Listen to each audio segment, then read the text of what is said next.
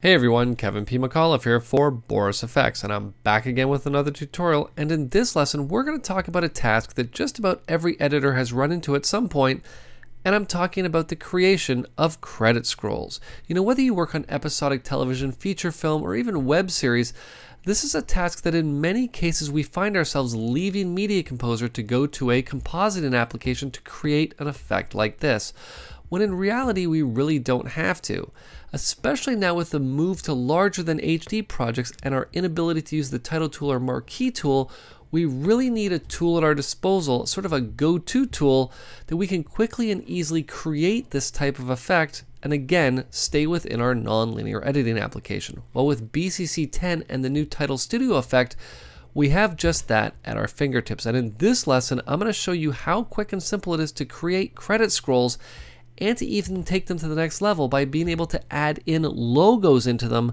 very quickly and very easily. Okay, let's keep our introduction short. Let's just get into Media Composer and let's get started. Okay, so let's Command and Tab into Avid Media Composer, obviously an Alt and Tab for all my Windows friends out there, and I'm just going to add a couple of edit points here above my clip that I'm, that I'm going to apply my title scroll to, and I'm just going to hit Command and 8 on the Mac Control and 8 on Windows to call up the effects palette.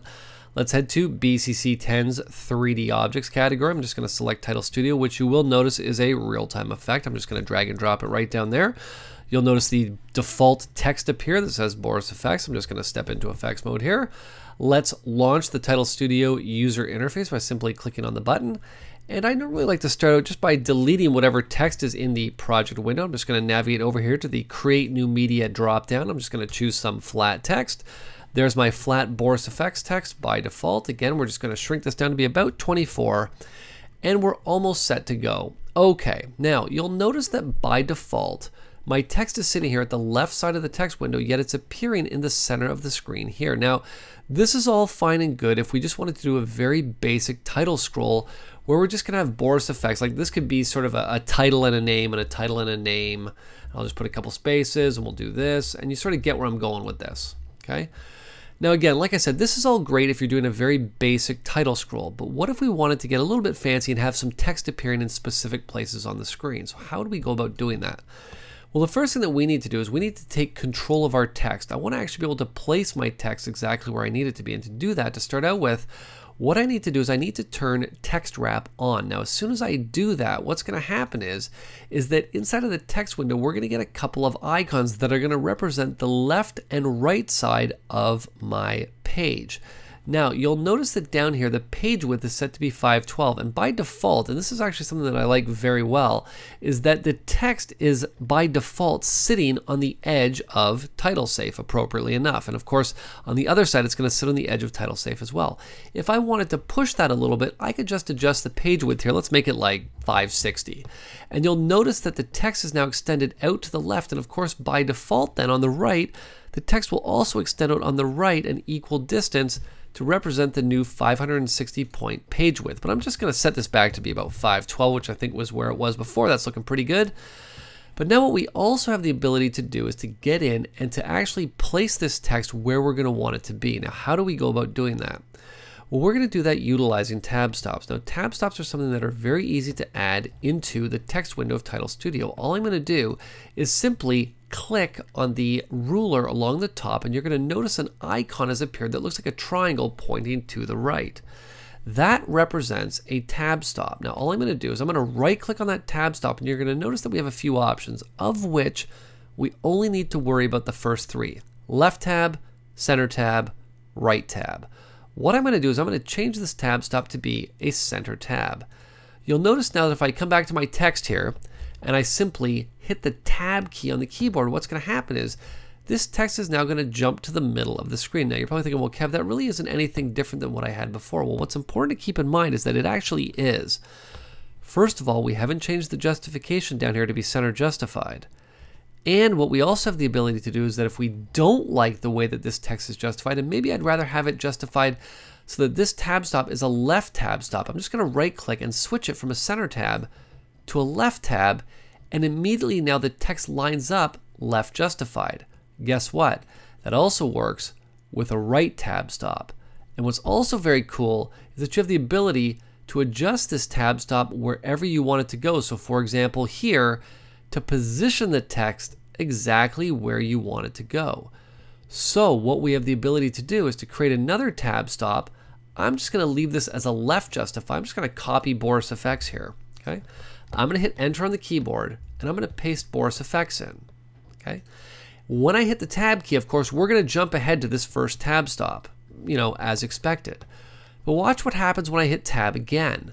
It's now going to jump to that other tab stop and do exactly what that tab stop is commanding it to do, which is be left justified. So again, what we can now do is paste it in, come back to the beginning, hit tab, let's do it again, and you'll see that we can very quickly and very easily create a very stylized credit scroll layout very quickly and very easily. Now, I'm going to be honest with you. In a lot of cases, when I get credit scrolls that I need to create, in a lot of cases, somebody's already created it for me in an application like Microsoft Word or even TextEdit. So what I've done here is I've created a very basic credit scroll, but I've also laid it out in a very specific way. You can see that I have some tab stops inside of my text document, and what I want to do is have the ability to import that right into Title Studio. Well, let me show you how simple that is to do. What I'm going to do is I'm actually just going to close Title Studio here. And we're just going to reset this again, just so that we have a clean slate to start with. Again, we're just going to do exactly what we just did before here. Let's go to flat text. Of course, again, we're going to select it all. Let's just put it at a point size of about 20 here. And I can actually even delete this because we're just going to be importing that text. So let me come down to import file. All I'm going to do is simply select that credit roll. I'm going to say open and it's going to appear here immediately inside of Title Studio. Now, of course, I'm going to want to make sure that I select this because you'll see that technically this text is almost center justified. I need to make sure that I turn text wrap on just like such that the text appears where I want it to appear. And now all I'm going to do is just place the tab stops where I want them to go. Let's just position this one over a little bit, maybe even a little bit more so that we can get it centered in the screen like such. We're almost there. Eh, maybe we'll even bring it back a little bit here, kind of like this, okay? And that's looking pretty darn good, just like that. Okay, so let's get in and let's actually make this title scroll happen. And I'm gonna even add in a couple of logos to show you how simple it is to get in and animate. Okay, first thing I need to do is to adjust the color because obviously we don't wanna have black text. What's important to keep in mind is that what it's actually doing here is it's mimicking the text color that I had inside of the credit roll text document. If I made that text white, it would come into Title Studio as white. Okay, but I can easily get in and change that. I'm just going to come in here to the fill color. We're just going to make the fill color white. Okay, I'm going to come to my controls. I'm going to come to drop shadow. Let's turn drop shadow on here. I'll just put the distance at something relatively small, make it about 2, make the opacity at 100, make the softness about 3. That's looking pretty good, okay? And what I'm also going to do now is I'm going to add inside of this container a couple of Boris FX logos. So let's do that. Uh, what I'm going to do is again, I'm going to come back to my create new item button. I'm just going to come down to an image file to import this image here. So there we go. There's a Boris FX logo. Let's just place this where we're going to want it to go over here. And maybe we will bring its scale down a bit. I'll put it at about 60. And I think maybe I'm just going to stick it up here. Okay, kind of like this. And we're just going to assume for argument's sake that we're going to have another logo. I'm just going to duplicate the Boris FX logo again. We'll just take it, we'll just bring it over here. And I'm just going to bring it south a little bit. Now what's important to keep in mind is that this text is that, you know, it technically is not 3D text, but it still lives in a 3D environment. And if I come back to the main container, you're going to notice that when it comes to the lights, I only have one light in my scene. And you'll see where it sits right about there, okay? So all I'm going to do is I'm just going to undo that. I'm just going to add another light. Now, of course, it's going to make everything a little bit too bright, but that's okay. We're just going to bring the intensity down a bit. I'm going to put it at about 50. With light 1, I think I'm going to put that at about 75, and I think we're looking pretty good right about there. Okay? So let's get in and let's animate this text. All I'm going to do is I'm going to come back to my 3D container. Let's come to my container position. Let's just adjust its Y position here just to move it off frame. Okay. Once we have it off frame, I'm just going to come right down to the end here. And we're just going to adjust the Y position again here to bring it right back up all the way up to the top here like such. And believe it or not, we're done. you'll see I even have the logos moving with it. Okay? So all I actually have to do now is simply say apply. That text is going to immediately appear in my timeline. I can now come back, hit play, and it's going to play back in real time. Now, you're probably thinking to yourself, well, Kev, this text doesn't look very good, but keep in mind, I'm looking at it in draft mode. So if I was to set this at full quality and again come back and hit play again, it's still going to play back in real time. And of course, now if I needed to get in and adjust how long I want this scroll to be, that's very easy to do as well. All I need to do now, because it's on its own separate layer, is simply come in. We're just going to extend it down like such using the extend key.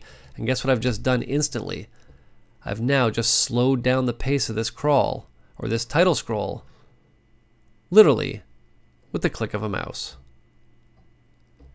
So I hope this tutorial has shown you how easy it is to get in and create what could be very complex title scrolls very quickly and very easily utilizing the power of Title Studio, tab stops, and a little bit of forward thinking. Now, for more information and to purchase Boris Continuum Complete 10, you can simply head on over to the store at the Boris FX website at www.borisfx.com.